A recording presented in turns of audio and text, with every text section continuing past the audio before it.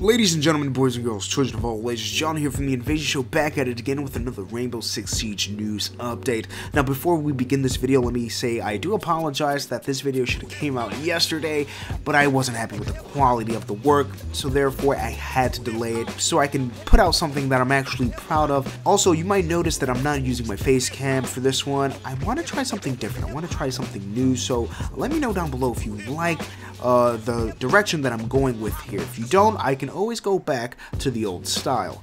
Uh, also, I am still doing that giveaway with the Rainbow Six Siege figures.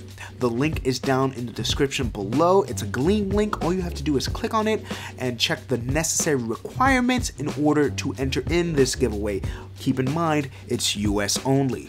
Now with that out of the way, let's go and watch this trailer of Operation Burnt Horizon, Gridlock, and Mozzie, and I can share you my thoughts after it's done. Gridlock and Mozzie in pursuit! Out!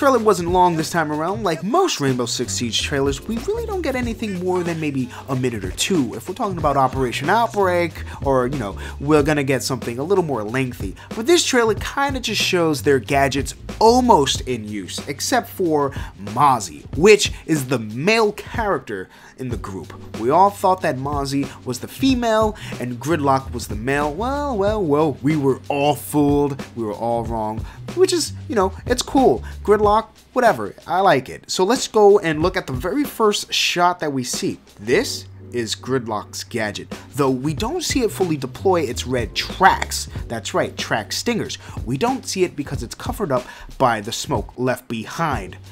Second, we do see Mozzie's gadget. Now, this is the cool part. We do see it at almost full deployment. However, we don't see it in use. It cuts off right there. So it leads me to believe that yes, we are going to be hacking some drones of some kind. In fact, there's information providing this. If we jump over to the Rainbow Six Siege website, you'll see exactly what I'm talking about. Meet Gridlock and Mozzie. Now, I'm not going to read everything here. There are some key information that I do want to share with you, and I'm sure by the time you're watching this video, you already know everything about these operators, but you probably want my take on it, which I do respect. Thank you for watching the video. So let's jump over all the way down to the bottom, we do have names, okay? Gridlock is Tori and Mozzie is Max.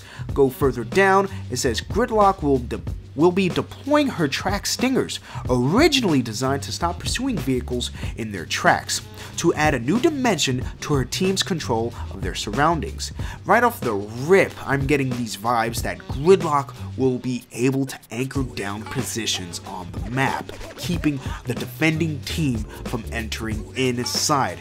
Now, are the red track stingers going to be destructible? You can guarantee that they will be destructible. Are they going to have high damage? Most likely they will. Are we going to see one? Are we going to see two? That's debatable until we see it at the official trailer release at the six invitationals. Now, but my understanding here is that she will be able to lock off certain areas of the map.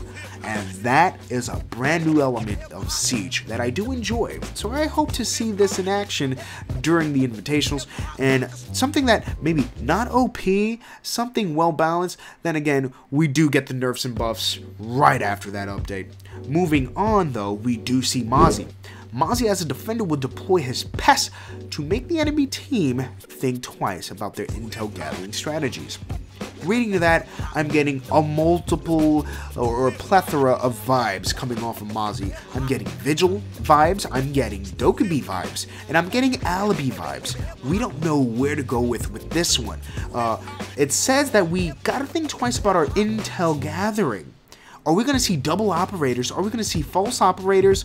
What will, you know, we see? Is Mozzie going to be able to control these drones? That is the question that everyone is dying to look for, and I'm sure that the leaks will probably happen before the official release dates of these trailers, but, you know, from now on, we have to keep it speculation, take everything with a grain of salt. So, I am really interested to see how his gadget, out of out of these two operators, Mozzie's gadget works because it's enticing. We see it in the trailer. We see it's the you know we see the first few seconds of its beginning of hacking, but we don't know what it's actually hacking and we don't know what it's actually doing. But I am excited for this operation. Speaking of operation, with this brand new operation comes in a plethora of nerfs and buffs, and that's in the form of the designer notes. Let's jump over there real quick so we can see what the hell is going on in Rainbow Six Siege. And we have to address the elephant in the room. We all heard about it, we all thought it was fake, but it's actually real, and some of us are rejoicing on this matter. And it's Ash and Ash has lost her ACOG from the R4C, her strong primary. I want you to think about this. Ash was an operator that is picked all the time when it comes to the Wind Delta. Ash is the primary operator to pick on the attacking side. I'm telling you, she is the most versatile operator that you can use. In fact, my very first experience with Siege was with Ash. So take that with you, okay? Ash is everyone's number one go-to. So her losing her ACOG is a big deal to some and a lesser deal to, to others. Ash is very powerful. Ash can do a lot of damage very fast. So removing the ACOG from her powerful primary the R4C is going to force players to use the G36. Now, the G36 isn't a slouch. Keep that in mind. It's not a slouch whatsoever. That itself will still have its gadgets in place. By gadget, I am talking about the ACOG sight will still be on that uh, weapon, the G36. So Ash is still a threat, but this is the beginnings of nerfing Ash without totally rebalancing her from the get-go. Now, the only thing I want to tell uh, Rainbow or Ubisoft out there is to fix that hitbox. Listen, to this day, her hitbox is highly questionable. It really is. But I'm glad they're going in the you know in the right direction with this nerf here because you know Ash is just OP. She's super versatile, like I said before, and she can do things like no other operator can do. So to see this, it's it's nice. it really is nice. But moving on, we do see some other nerfs and buffs at the same time. Maverick has increased swap time between Suri Torch and weapons. Now, we all know that boy can switch up things really quickly, so to see the increased switching time from primary to gadget is kind of nice. Dokkaebi. This is a, another big one in this patch, man. I'm telling you, they really went in on this one. Dokkaebi, after 18 seconds, phone calls from Dokkaebi will hang up on their own. Now, I did state that this was probably in the workings last designer notes update that we got. And I did say, you know, let's leave it alone. Let's leave Dokkaebi and let her remain a threat because it really doesn't. I go against Dokkaebis all the time, and it doesn't put me in a position you can either turn it off or you just go after it because you know she's around the corner, right? After 18 seconds, it'll shut off. That changes up her gameplay completely. Not only she would pop that thing right off the jump, now she has to use it a little more strategically because she's getting counters. Being in range of mute jammers will prevent Dokkaebis from calling you. Walking into range of mute jammers will hang up phone calls during the call. So now Dokkaebi has hard counters left and right and a default counter. That is the 18 second mark. Going on, we see Capitão, he does get a buff and a nerf. And I think this is fair. I think this is balanced because going against a Capitão, if you're, you know, for instance, you're Echo, you're behind a shield, you're deploying your yokais, that's a safe place for you. There's no other way maybe a flashbang, smoke, grenade can get to you, but Capitão will find his way. Capitão always finds his way. So an increasing area of effect size, they also have a little gift down here that you can see what we're talking about. Keep in mind it won't go through walls, so you're safe on that regard. The damage, however, let's keep that in mind. Reduced damage per tick from 19 to 12.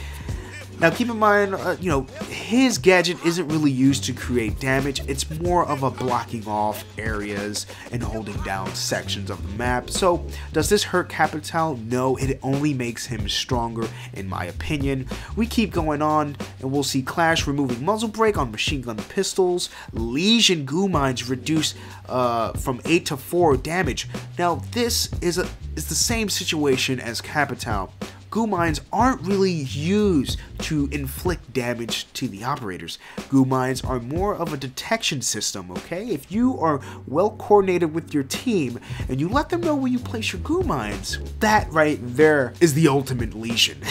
because we we don't use it for the damage. We use it for the to detect enemies throughout the map, and it also creates that pressure against shield operators such as Blitz and Montagne going on. It talks about breaching charges being faster, which is nice, and it goes with the current status of deployable shields, shield operators, my boy Lion, Glaz, and Blitz. Now, Blitz, we all hope to see the day that you get nerfed into oblivion. Going against a Blitz is like going against God. It's hard.